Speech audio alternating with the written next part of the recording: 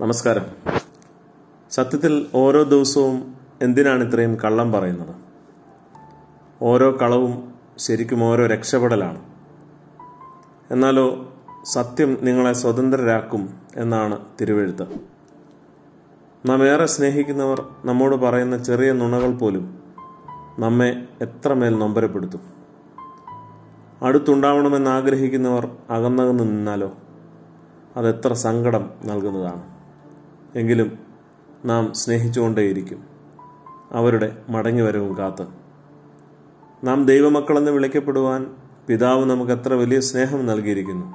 എന്നിട്ടും എന്റെ കള്ളത്തരങ്ങളും ഒഴിഞ്ഞു മാറലുകളും കൊണ്ട് അവനെ വേദനിപ്പിക്കുകയാണ് ഇപ്പോഴും.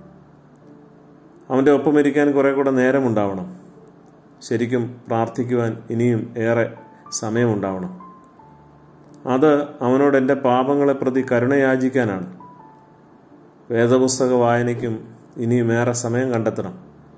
അത് അവൻ എന്നോട് പറയുന്നത് കേൾക്കാൻ വേണ്ടിയാണ്. എന്റെ ചലനങ്ങൾക്ക് നിയന്ത്രണ രേഖ തേടിപ്പോകലാണത്. നീ കുരുടർക്ക് വഴികാട്ടുന്നവൻ ഇരുട്ടുള്ളവർക്ക് വെളിച്ചം. മൂഢരെ പഠിപ്പിക്കുന്നവൻ.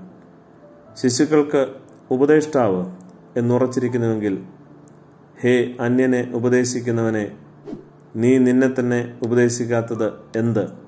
എന്നിങ്ങനെ തിരുവഴുത്തല്ലാതെ ആരാണ് നമ്മെ നിരന്തരം തിരുത്തുന്നത്? സുഹൃത്തെ അവന്റെ ഒപ്പമിരിക്കാനും അവനിൽ നിന്ന് കേൾക്കാനും നോമ്പിൽ പരം നല്ല നേരം മറ്റേതാണ് ഉള്ളത്. നമസ്കാരം.